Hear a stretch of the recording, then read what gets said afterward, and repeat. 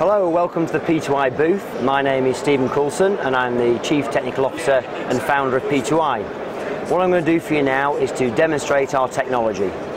So if I take an untreated paper tissue and just unravel it and dip it into the water, not surprisingly, it absorbs the water very quickly, so nothing too surprising at all.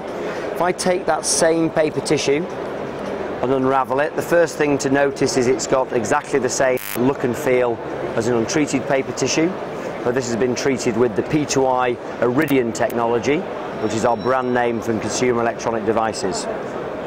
As I now introduce that into water, rather than absorbing the water, it repels it.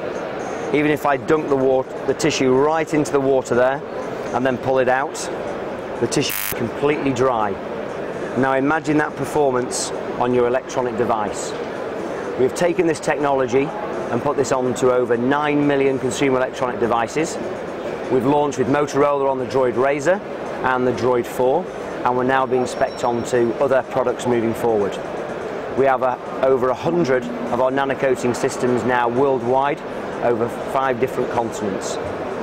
And what we're doing is providing protection to corrosion damage on electronic devices. Right, thank you.